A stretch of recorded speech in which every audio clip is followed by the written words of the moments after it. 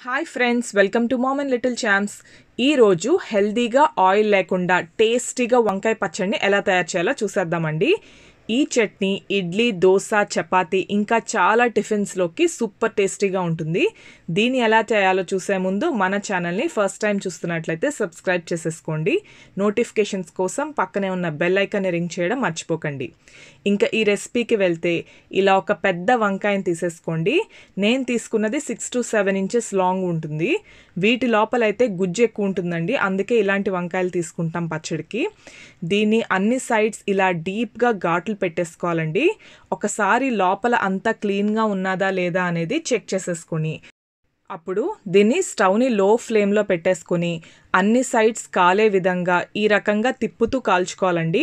ఎక్కువ ఫ్లేమ్ పెట్టేస్తే లోపల సరిగ్గా ఉడకదు. సో బాగా తక్కువ ఫ్లేమ్ పెట్టుకుని టైం తీసుకుని నెమ్మదిగా తిప్పుతూ అన్ని డైరెక్షన్స్లోనూ కాల్చుకోవాలండి. ఇలా మెత్తగా వచ్చేస్తే ఇంకా వంకాయ పూర్తిగా ఉడికిపోయినట్లే. ఇంకా దీన్ని స్టవ్ ఆఫ్ చేసేసి ఒక ప్లేట్లో పెట్టేసుకోవాలండి. ఇది పూర్తిగా చల్లారిన తర్వాత దీనిపైన కాలిన తొక్కంతా కూడా చేత్తో నీట్గా రిమూవ్ చేసేయాలి. ఇలా మొత్తం తొక్కంతా తీసేసిన తర్వాత పైన ఉన్న ముచ్చుకని కూడా కట్ చేసేసుకుని మిగతా వంకాయ అంతా కూడా రఫ్గా ఒకసారి చాప్ చేసేసుకోండి. తర్వాత దీంట్లోకి ఒక మీడియం సైజ్ ఆనియన్ని ముక్కలుగా కట్ చేసి వేసేసుకుని ఐదు పచ్చిమిరపకాయలు లేదా మీ టేస్ట్కి బట్టి చూసుకుని వేసుకోండి. పచ్చిమిరపకాయలు వేసుకుని నాలుగు వెల్లుల్లి ముక్కలు వేసుకుని ఒక కప్ దాకా కట్ చేసేసిన కొత్తిమీరని వేసేసుకోవాలండి.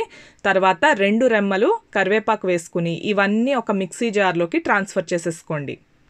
ఇందులోకి మీ టేస్ట్కి సరిపడా ఉప్పు వేసేసుకుని మీడియం సైజ్ నిమ్మకాయ రసం అంతా పిండుకుని కొద్దిగా వాటర్ వేసి గ్రైండ్ చేసేసుకోండి. ఇంకా చట్నీ రెడీ అండి.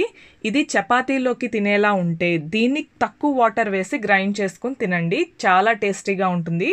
లేదా మిగతా టిఫిన్స్లోకి కావాలి అని అనుకుంటే కొద్దిగా వాటర్ వేసుకోవచ్చండి. వేసుకుని వీటిని గ్రైండ్ చేసుకోవచ్చు.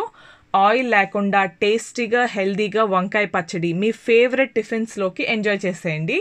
ఈ రెసిపీ మీకు నచ్చినట్లయితే ఈ వీడియోని లైక్ చేసి మీ ఫ్యామిలీ ఫ్రెండ్స్ రిలేటివ్స్ అందరితోటి ఈ వీడియో షేర్ చేసేయండి. Thank you so much for watching next వీడియోలో మళ్ళీ కలుద్దాం.